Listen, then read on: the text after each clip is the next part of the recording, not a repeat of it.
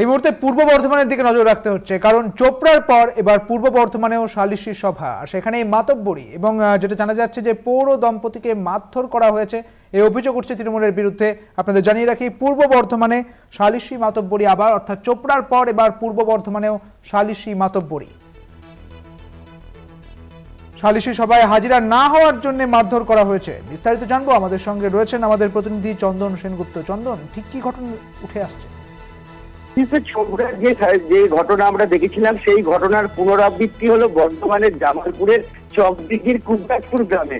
যেটা জানা যাচ্ছে যে তেরো তারিখ ওই কুকদাসপুর গ্রামে বসির আলীর বাড়িতে আছে ওই এলাকার যে চকদিঘির তৃণমূলের যে অঞ্চল সভাপতি আছে, সেই অঞ্চল সভাপতির বারো তেরো জন লোক। এবং এসে তারা বলে যে, এরকম অঞ্চল সভাপতি একটি সালিসি সভা ডেকেছে সালিসি সভাটা কি নিয়ে? ওই বসির আলীর সঙ্গে বিয়ে হয় দু হাজার আঠারো সালে বর্ধমানের এক তরুণী। এরপরে বিবাহ বিচ্ছেদের মামলা শুরু হয়, সেই মামলার পরিপ্রেক্ষিতেই এই সালিসি সভা। কিন্তু আদালতে বিচার চলাকালীন সালিসি সভায় ডেকে পাঠানোয় পরিবার কিন্তু যেতে চায়নি। এরপর তার পরের দিন, অর্থাৎ চোদ্দ তারিখ রাত্রির বেলায় ওই পরিবারের অভিযোগ, তার বাড়িতে ওই যে অঞ্চল সভাপতি আছে, তার তার তার যে সামনে রয়েছে বারো জন তারা এসে ব্যাপক মারধর করে এবং শিলতাহারি অভিযোগ আনছে পরিবার।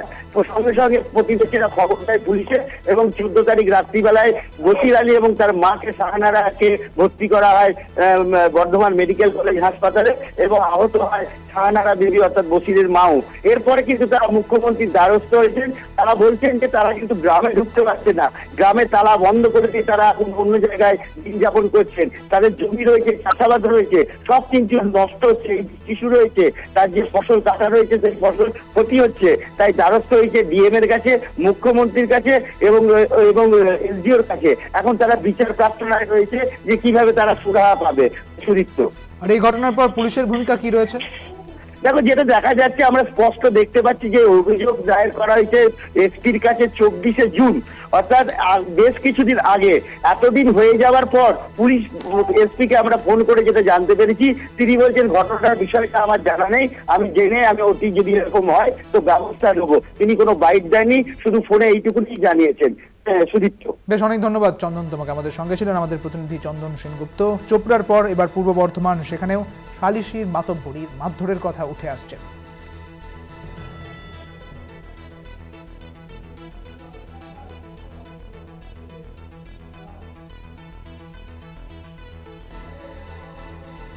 মুখ্যমন্ত্রীকে চিঠি, বৃদ্ধ দম্পতির এবং এই সুরাহা তারা চাইছেন পৌর দম্পতি থেকে মারধর করা হয়েছে। ডিজি, পুলিশ এবং জেলা শাসকের কাছেও নালিশ করা হয়েছে। পূর্ব বর্ধমানে সালিশি মাতব্বরী মারধরের কথা উঠে আসছে। অভিযোগ অস্বীকার করেছে তৃণমূলের অঞ্চল সভাপতি এবং তার বিরুদ্ধে অভিযোগ ছিল এবং অভিযোগ অস্বীকার করেছেন তিনি। নেহাতি গ্রাম্য বিবাদ দাবি শাসক দলের নেতার। অর্থাৎ সালিশি সভায় যখন মারধর করার খবর উঠে আসছে, তখনই শাসক দলের নেতারা বলছেন, এটি নেহাতি একটি গ্রাম্য বিবাদ। চোপড়ার পর এবার পূর্ব বর্ধমান, সেখানেও সালিশি সভা ঘিরে মাতব্বরী, মারধরের ছবি কিন্তু উঠে এসেছে। সালিশি সভায় হাজির না থাকায় মারধর করা হয়েছে পৌর দম্পতিকে। পূর্ব বর্ধমানের জামালপুরের, কুবরাজপুরের এই ঘটনা। অর্থাৎ পূর্ব বর্ধমানের জামালপুরের কুবরাজপুর, সেই জামালপুরের কুবরাজপুরেই এই ঘটনা ঘটেছে। এই অভিযোগ উঠছে তৃণমূলের অঞ্চল সভাপতিকে ঘিরে এবং অঞ্চল সভাপতির যদিও বলেছেন এটি পারিবারিক বিবাদ, এটি একটি গ্রাম্য বিবাদ ছাড়া কিছুই নয়। পূর্ব বর্ধমানের জামালপুরের ঘটনা, যেটা জানা যাচ্ছে যে ওই অঞ্চল সভাপতির অনুগামীরাই এই মারধরের জন্য অনুমতি দিয়েছিল এবং তারপরে মারধর করা হয়েছে, যদিও তা অস্বীকার করেছে অঞ্চল সভাপতি। চোপড়ার পর এবার সালিশি সভা সালিশি সভা ঘিরে মাতব্বরী মারধরের কথা উঠে আসছে পূর্ব বর্ধমানে।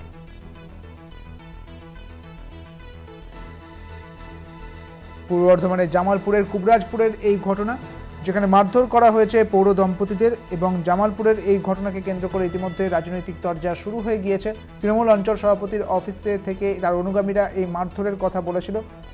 পরিবারের সবাইকে হাজির থাকতে নির্দেশও দেওয়া হয়েছিল, কিন্তু তারা যেহেতু হাজির হননি, সেই কারণে তাদের মারধর করা হয়েছে। নির্দেশ দিয়েছিল অঞ্চল সভাপতির অনুগামীরা, এমনটাই খবর। গুরুতর গুরুতর আহত অবস্থায় হাসপাতালে ভর্তি রয়েছেন পৌর দম্পতি।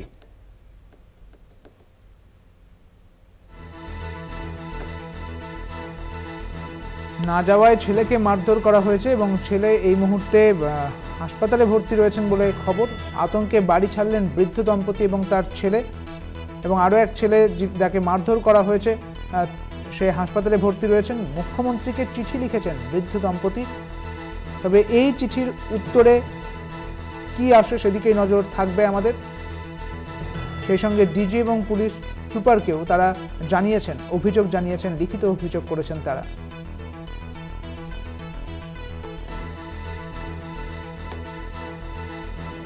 আমাদের সঙ্গে রয়েছেন বিজেপি নেতা রাহুল সিনহা। রাহুল বাবু কলকাতা টিভিতে আপনাকে আবারও স্বাগত জানাই। আপনাদের জানিয়ে রাখি যে চোপড়ার পর পূর্ব বর্ধমানে আবারও কিন্তু সালিশি সভা ঘিরে মাতব্বরের ছবি উঠে আসছে, মারধরের ছবি উঠে আসছে। কি বলবেন? দেখুন, বিষয় হচ্ছে যে যে রাজ্যে পুলিশ প্রশাসনের কারও ভয় নেই, সেই রাজ্যে এই জাতীয় দৌরাত্মই চলে। আর সারা রাজ্য জুড়ে যতগুলো এই মারধরের ঘটনা ঘটেছে, গণপিটুনির নামে তৃণমূল পিটুনি চলেছে। প্রত্যেকটা ক্ষেত্রে তৃণমূল কংগ্রেসের লোক এই ঘটনা ঘটিয়েছে। অতএব শাসকই যেখানে ভক্ষকের রূপে অবতীর্ণ হয়েছে, সেখানে পুলিশই কি করবে, প্রশাসনই কি করবে? সেই কারণে আমি মনে করি যে অবস্থা চারিদিকে ছড়িয়ে পড়ছে। একটা গণপিটুনি উৎসব চলছে।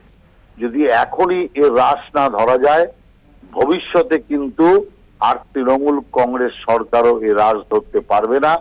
অতএব এখনই উচিত ওদের বিরুদ্ধে কঠোর শাস্তিমূলক ব্যবস্থা এবং দৃষ্টান্তমূলক শাস্তির ব্যবস্থা করা। অনেক ধন্যবাদ আপনাকে আমাদের সঙ্গে ছিলেন বিজেপি নেতা রাহুল সিনহা। আপনাদের জানিয়ে রাখি, আতঙ্কে বাড়ি চলেছেন সেই বৃদ্ধ দম্পতি। এবং আপনাদের জানিয়ে রাখি যে এই অভিযোগ করেছেন আক্রান্ত এবং গুরুতর অভিযোগ করছেন তিনি ঠিক কি অভিযোগ করছেন? শুনুন। হ্যাঁ ওরা আমাদেরকে তাড়িয়ে দিয়েছে বলতে মারের প্রচণ্ড মারের হুমকি দিয়েছে। আর কি বলেছে? আমাদেরকে মেরে ফেলবে। বলছে তোমাদের চাষবাস সব বন্ধ করে দেবো বাড়ি ছাড়া করে দেবো বাড়িতে ঢুকতে দেবো না। যে শাসক দল এসেছে আমরা শাসক শাসন করব। সেই শাসক দল ঘুরে এসেছে এরকম বলছে আমাদেরকে। ওদের সালিসি সভাতে জাননি বলেই কি হ্যাঁ ওদের সালিশ সভাতে যায়নি বলে। আমরা বলছি এটা কোর্ট চলছে কোর্টেই বিচার হবে। আমরা কোর্টের বিচারের ইয়েতে আছি। তারপরে? তারপরে আমাদেরকে প্রচণ্ড মারধর করে। যে আমাদের বিচারে বসতে হবে যা বিচার আমরাই করব। কোনো আইন আদালত বলে কোনো কিছু মানতে চাইছিল? না? কোনো বলছে আমরা আইন আদালত মানি মানি না। পুলিশকে জানিয়েছিলেন তখন হ্যাঁ পুলিশকে জানিয়েছিলাম। তারপরে কি তারা পালিয়ে হ্যাঁ, গেছিল? তার আগে না আমরা তার আগে পুলিশকে আমরা জানিয়ে গিয়েছিলাম আমরা অভিযোগ জানিয়েছিলাম। অভিযোগ জানানোর পরে ওরা কিছু আমাদের ইয়ে করিনি কো হ্যাঁ।